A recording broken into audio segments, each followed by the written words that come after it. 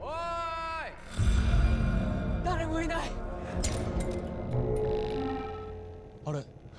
ゲーム開始までお待ちください。なんだよこれ。一度ボーダーラインを越えたらもう出られない。ゲームに参加するしかない。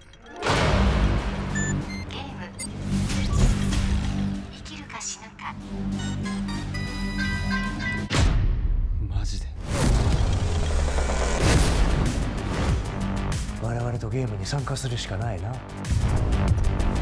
頼りになるのは自分だけ。このゲームに関してまずはっきりしてることはゲームマスターがいるってこと。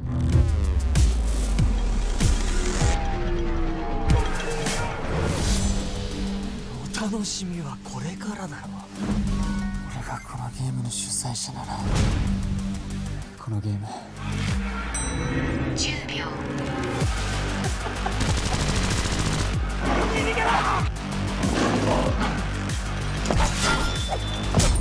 切り者には死を。考